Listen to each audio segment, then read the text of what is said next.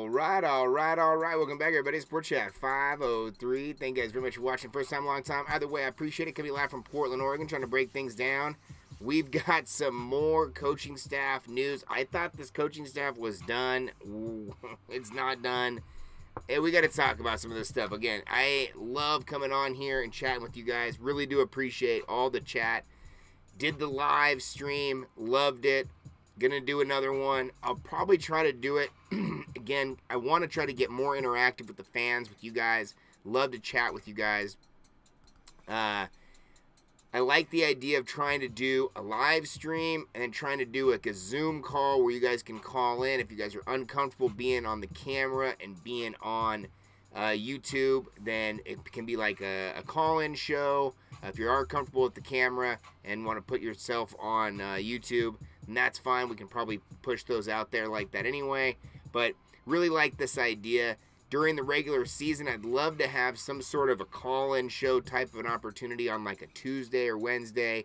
During the regular football week, you know, obviously Monday Night Football, people are doing stuff. Over the weekend, people are busy. But that Tuesday, Wednesday kind of cools out during the middle of the week before Thursday Night Football, the rest of the stuff for the rest of the week. I would love to get together each week be able to do kind of a recap video, look ahead, uh, maybe spend an hour uh, breaking that stuff down. So if you're interested in that and you want to be a part of that, I could have a little bit of a panel together every single week, and then other people can kind of jump in, call in, call out.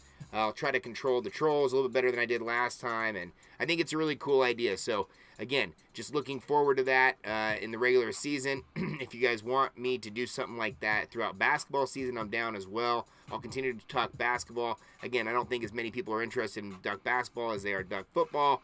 Either way, I'm here for the Ducks. Okay, let's go ahead and break this stuff down. So, Jarwarski Beckum comes in as the director of speed and performance. Uh, he's a guy uh, connected to Wilson Love, Ole Miss uh, uh, strength and conditioning staff. And again, I, I think that as you as you see where this is going in college football, right? You're seeing more and more coaches.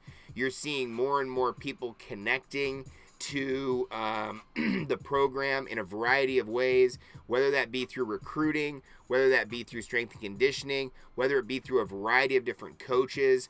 Um, but I do like the idea of, uh, you know, branching out as many people as you can to work with these guys because, again, there are so many of these athletes on this team, and it's really important to be able to have connections to a wide variety of them in a, in a, in a wide variety of ways as well. This uh, tends to be when these guys uh, leave, uh, strength and conditioning guys leave, the players voice their uh, utmost love and respect for these guys. A lot of times they spend way more time with the strength and conditioning guys than they do the regular season coaching staff uh, uh, guys because of the restrictions the NCAA puts on it. So I think that's a really interesting one. Uh, having a guy that's focused specifically on speed, I think, is great. Speed and performance. Uh, again, I think this is going to be kind of an explosive uh, situation for this staff to really identify what can make them the best going forward. I think you're going to have a little bit of column A with the speed and agility things that Chip Kelly did with the spread offense. I think you're going to have a little bit of column B with maybe the, the strength and, and, and, and power that Mario was trying to bring. And I think you're going to blend into a beautiful program here. Now, a couple other things to chat about. One is uh, the reports that the NCAA is going to be focused on Division Street and focused on uh, Oregon's NIL deals. You know, I think this is kind of an interesting thing when you when you lo- really look at the NCAA. I think the NCAA is going to be in, in a real tough spot going forward because I don't think they put the parameters on this NIL um, the way that they wanted to going forward because they did not want to seem like they were the old NCAA, right? They wanted to become the new hip version of the NCAA where they want kids to be successful and they want kids to make money and they want schools to be able to hand out uh, um, some of the money that they're making. Because again, these institutions are making, in many cases, billions of dollars across the whole nation, but uh, individual schools are making a lot of money uh, and uh, the goal is to try to give some of this money back to the kids in some way, shape, or form, right? And So Division Street's a, a, a unique opportunity. Obviously, it, it's a connection to Nike, but it's a it's kind of an offshoot. It's it's a separate situation. Uh, obviously, Nike is connected to it, but former Oregon people are connected to it as well, and it's a unique deal.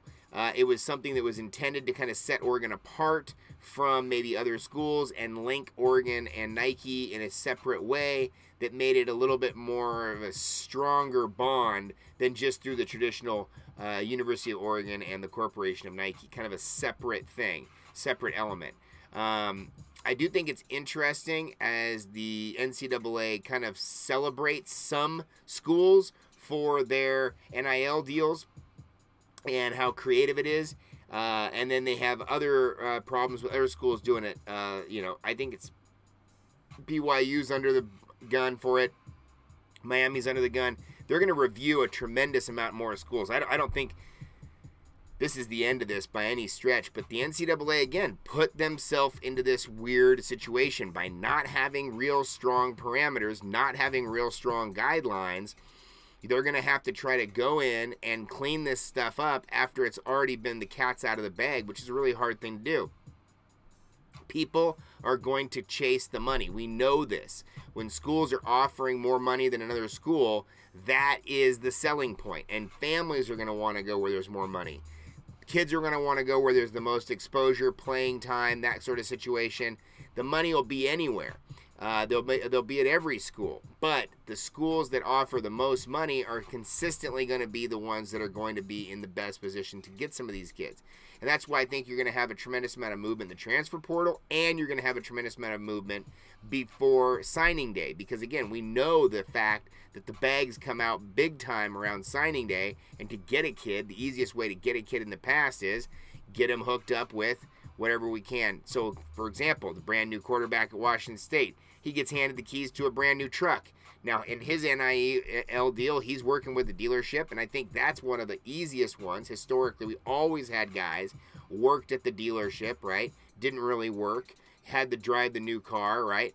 But now it can be above board. They can be an actual sponsorship partner with the dealership and be able to do that. I think you can also do the same thing with a pizza company or a wings company, right? Or a tire company, whatever the case may be. But it is interesting that they are, are, are going to kind of focus on specifically Oregon with Division Street and and try to look at that more specifically than what we see where we hear that every Texas offensive line recruit is getting 50,000. So again, I think it's there's some weird deals here. Going forward, I would love to see some sort of a understanding across the board. These are the parameters. This is what we're dealing with. But I think state by state, also, you're going to have different rules being put into state legislature. We talked about it here in the state of Oregon legislature. They're trying to put push a pass a bill that would make it easier for Oregon and Oregon State to be able to accept and promote deals for uh, their student athletes. So going forward, I, I, think you're I think you're in in for this big time. Uh, and then today on Sunday we had some discussion around Sir Mells I think the new uh, way to do this to add intrigue to your hype in the Twitter verse or whatever is to put in a couple emojis. The the emoji of the thinking face, or the one with the little uh, monocle, uh, or the angry breathing the nose, uh, steam out of the nose, or whatever. And so Sir Mells post this thing, and then uh, people are all thinking, "Uh oh, is he gone? Is he gone? No, no, no, he's gonna leave." He had already signed early signing day. Then he goes on a Twitter space, runs his own Twitter space, and basically explains the whole thing as a misunderstanding between him and the university. Ironed out. He's committed. He's into it. He's been a vocal, vocal uh, commit and trying to get a bunch of guys in on this thing. I think he's the type of guy who you really need. I love his energy. I love his charisma. And he's the type of guy that can help you recruit other guys in the future, uh, especially D linemen. Again, D linemen tend to be one of those rare breeds of humans that are the same size and strength and speed uh, as, as, guys you see in the NFL. Uh, it's pretty rare to find 18 year olds who are that same size, speed, and strength. Uh, and so uh, they're few and far between. And I think a guy like Sir Mells is a guy who, uh, after that Washington loss, obviously we saw him, Ben Roberts both uh, come on down to Oregon.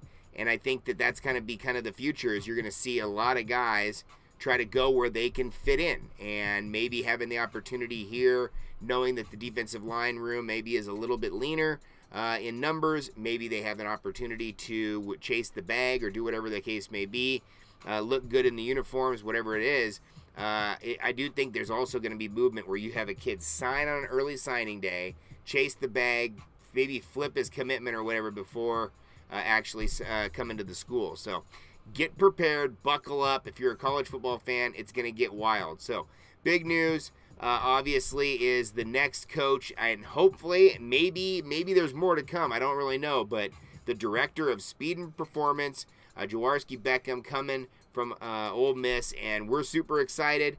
The goal is to get this thing to a position where you can have your football team compete with the highest performance level across the country, which in this case is going to be Georgia. Georgia start the year off.